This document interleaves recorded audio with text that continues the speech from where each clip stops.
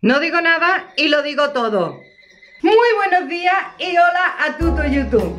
Vámonos de aquí porque estoy en plena grabación de otra colaboración con Shane y tengo ahí un cacharrito funcionando para ver qué tal va. Ya está, ya recogido. Hay que aprovechar que ha venido mi Chavi y, y ya he terminado de grabar el otro vídeo lo tendréis Creo que mañana. Creo que son los extras que pongo así de las colaboraciones. Bueno, lo que os enseñado al principio, digo que otro frente abierto. El tercero. Como el tren me va, tú ya sabes que muchísimas gracias de los 3333 que ya los superamos, pero me dio tiempo de hacer la captura. Vamos a ver, recopilamos así, para que no os tengáis a día. Tres frentes. El primero es lo de la parcela.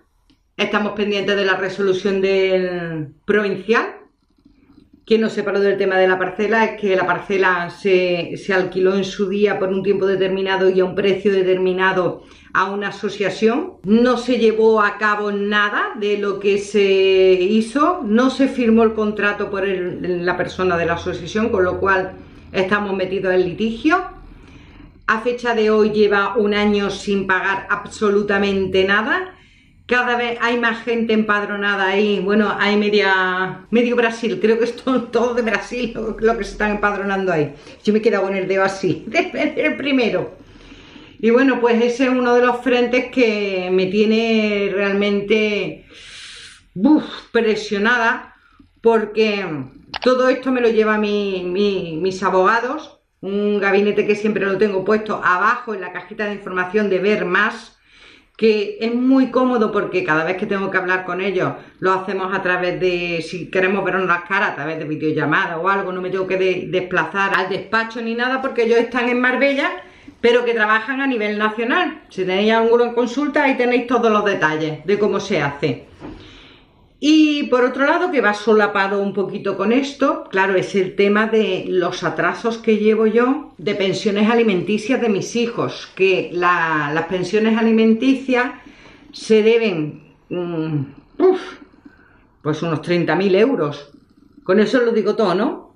Y eso va un poco solapado porque, claro, ahora ya no se están recibiendo ingresos tampoco de la parcela, que era un acuerdo que se hizo que si se alquilaba la parcela, que eso sería para ir pagando los gastos, los gastos atrasados. No se llega a ningún acuerdo de, de bueno, eso y saldándolo poco a poco, ¿no? Porque ahora precisamente es cuando más falta me hace así. A mí, porque claro, la parcela, como no se puede vender, porque cuando ya se venda la parcela, ya recibo yo ese dinero más miércoles que se ha gastado la batería. Claro, si es que Lleva toda la mañana funcionando la cámara. Pues lo que estaba diciendo, más eh, una cifra bastante importante que pagué yo de, ya no de deudas, sino de pagos que son de, de él, que lo hice yo en su día. Entonces, fijaros que todo eso está un poquito solapado. Pero aún y así yo estoy intentando a ver si la otra parte se hace cargo de sus gastos y bien me va dando algo a cuenta de la deuda tan grande que tiene con nosotros para ir restando para el día que se venda la parcela, pues mejor para él, más dinero le va a quedar, ¿no? Pero bueno, ahí estamos, dos frentes, ¿no? Bueno, pues si eran pocos, digo, pues voy a abrir otro tercero. Pero usted tenéis la culpa vosotros. Porque resulta de que a través de mi historia, todo habéis empezado a decirme, Alicia, tienes que averiguar quién es tu padre, tienes que hacerlo. Y entonces eso que os he mostrado al principio, al final del último vídeo os dije, me estáis calentando y me vais a hacer escribir una carta. Me estoy pensando escribir una carta. A ver, yo tengo todos los datos de una de las personas, tengo todos los datos. Del otro ya sabéis que tengo, que tenía un negocio en una calle en concreta, el nombre y el apellido no me acuerdo. Que no me acuerdo, oye, me cago en la leche. Bueno, pues el caso que fue cortar el vídeo, me puse y escribí la carta. Y le escribí una carta diciendo que hace años él me propuso hacernos la prueba de, paternidad. Pero era en esa época final de mi madre, que ya entenderéis mucho cuando vayáis viendo los vídeos, que mi madre tenía la cabeza Y mi madre cuando le daba por una cosa era que te llamaba a las 2, a las 3, a las 4 de la mañana, da igual, no tenía fin. Bueno, pues lo visto estuvo llamándolo y él estaba ya tan desesperado que me dice, mira, vamos a hacernos la prueba y ya está. Y claro, yo como estaba inmersa en toda aquella movida del tramo final de, de mi madre, que fue, fue complicado, pues le dije, mira, yo ahora mismo es que no estoy para esto, siento mucho lo que te está pasando, pero ahora mismo no estoy para esto. Pero claro, me habéis calentado, me vais calentando, me habéis calentando, también por me decir, es por tema de salud, tus hijos, piénsalo. Y al final pues le he escrito y le he dicho eso, le he puesto en la carta que, que se acuerda que hace unos años estuvimos hablando, me llamó él, yo no tengo el teléfono, se me perdió. Como he ido, yo voy cambiando mucho de teléfono. Y es que me he quedado así porque digo, a lo mejor lo tengo en el otro teléfono, el, el Wallace S20. A lo mejor todavía está ahí. Más que nada por si tenía WhatsApp, porque yo hablar no, hablarme... Yo, que soy, yo soy demasiado prudente. Y entonces pues le dije que, que si estaba dispuesto que lo podíamos hacer.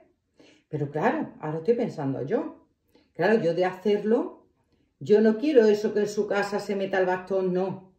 Yo quiero que vaya a un sitio y le recoja las muestras. Y claro, yo esto no sé cómo se hará. Vamos a esperar. La carta se la envía certificada. 480 me ha costado. Vamos a esperar a ver qué responde. Le he dejado mi número de WhatsApp.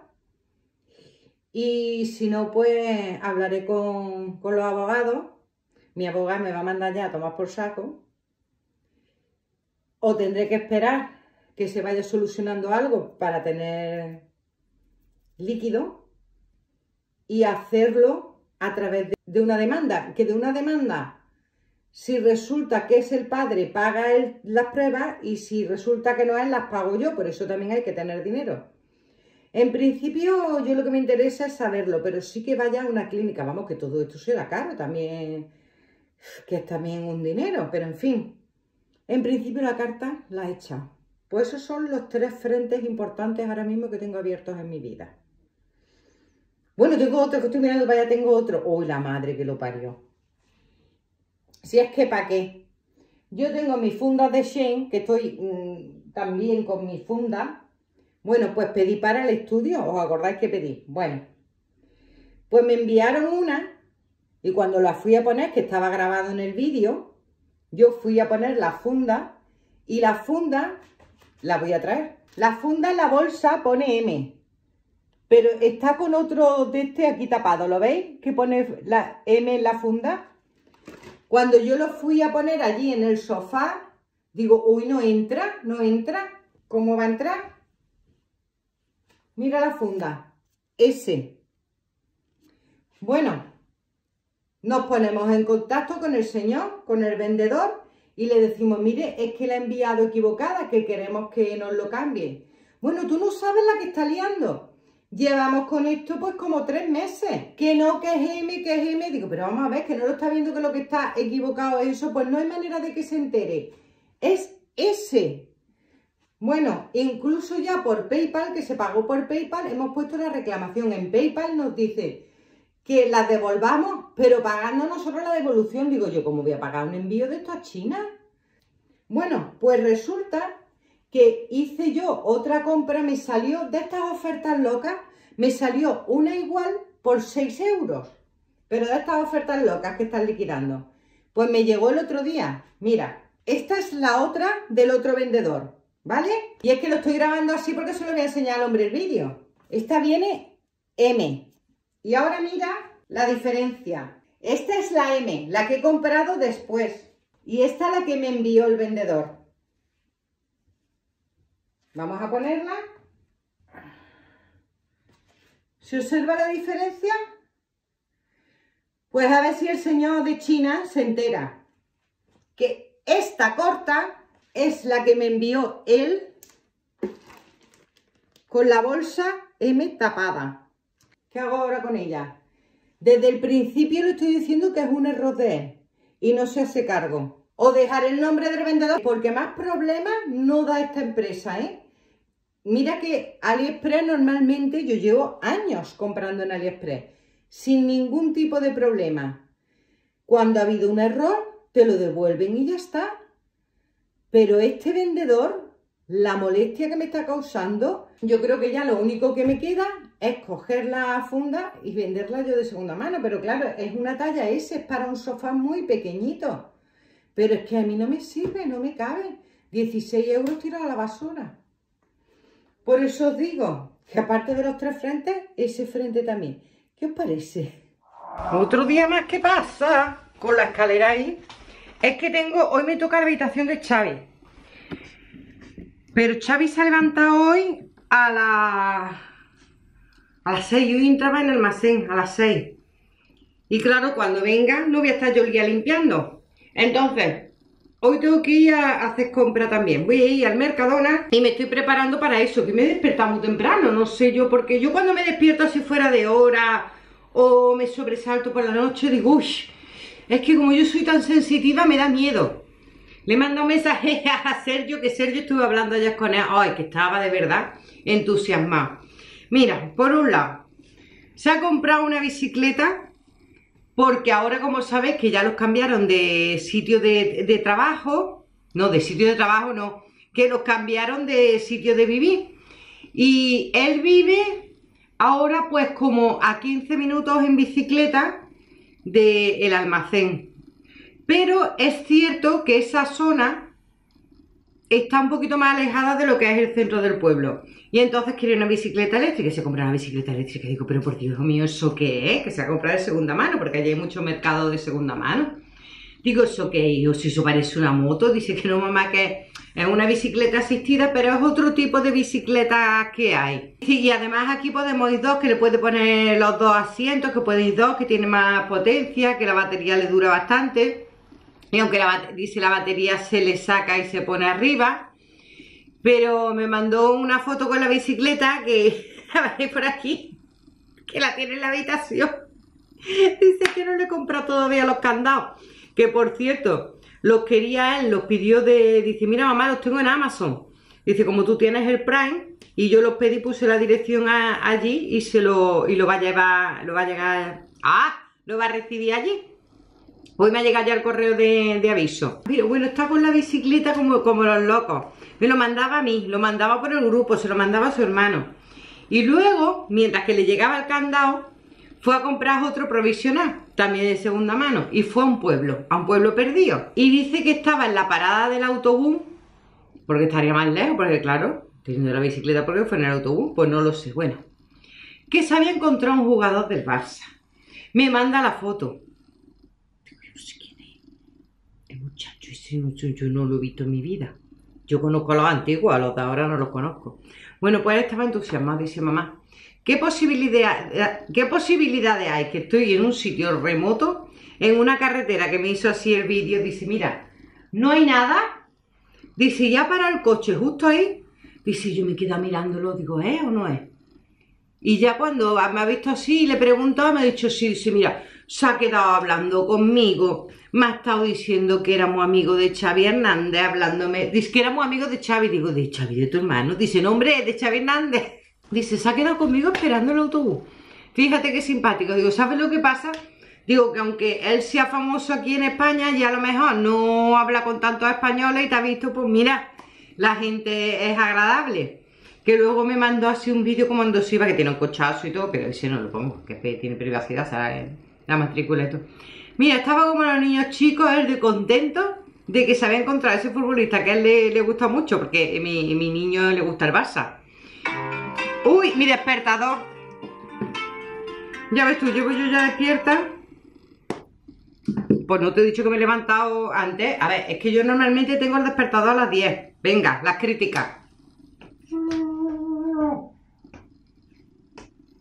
Bueno, pues yo es que ahora tengo otros horarios. Yo normalmente me acuesto a las 12. Porque yo, o sea, a las 12. A las 12 es cuando tengo que hacer unas gestiones para el día siguiente siempre. Y ya a las 12 y media, a las 1 menos cuarto, es cuando ya me quedo tranquila, me voy a desmaquillarme, me pongo a ver mi serie, ya empiezo a a ver el capítulo de mi serie, que por cierto estoy viendo ahora una que se llama La Verdad. Y me está, me tiene enganchadita, a mí también es española, ¿eh? pues me tiene enganchadita. Entonces ya me pongo con eso y al final me duermo a las 2, o sea que al final el horario más o menos es el mismo, si tú te acuestas a las 12 y te levantas a las 8, pues haces exactamente igual que yo. Pero hoy sí, hoy me he levantado a las 8, porque ya me he despertado y ya me he quedado de pie. Y voy a ir hoy a, a comprar. Así que os lo voy a dejar por aquí. No sé si grabaré el vídeo de compra o no, porque prácticamente del Mercadona, eh, más o menos siempre lo mismo. Si hay algo novedoso, bueno, novedoso, si en el Mercadona lo que están quitando la mitad de las cosas, si cada vez hay menos cosas. Si es que el otro día fui a comprarme una lima de uñas y han quitado las limas de uñas. Las limas de uñas negras normales las han quitado, ahora solo hay las rojas, el paquete de rojas esa de toda la vida.